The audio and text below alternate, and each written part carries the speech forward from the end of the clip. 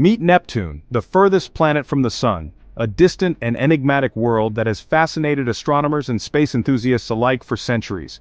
This mysterious giant of our solar system is shrouded in a deep blue hue, giving it an otherworldly appearance that captivates the imagination.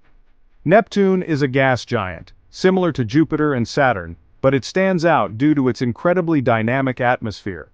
Known for the fastest winds in the solar system, these winds can reach astonishing speeds of up to 2,100 kilometers per hour.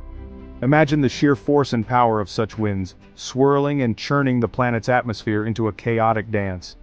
Neptune is also home to Triton, one of the most intriguing moons in our solar system. Triton is unique because it has active geysers that spew nitrogen gas into space, hinting at a fascinating and icy underworld beneath its frozen surface. This moon's geologic activity suggests that there might be more to discover beneath its icy crust. Though not as famous as Saturn's, Neptune has its own set of delicate rings.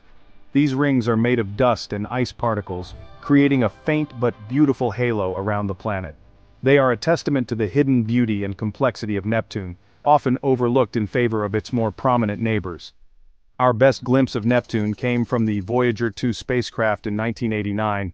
This historic mission provided us with invaluable data and stunning images, but despite this, much about this distant world remains a mystery. The data collected raised as many questions as it answered, leaving scientists eager for more exploration.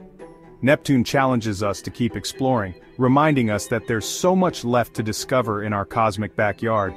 Each new mission to this distant planet holds the promise of uncovering secrets that could change our understanding of the solar system, so stay curious and keep looking up, because the universe is full of wonders waiting to be explored.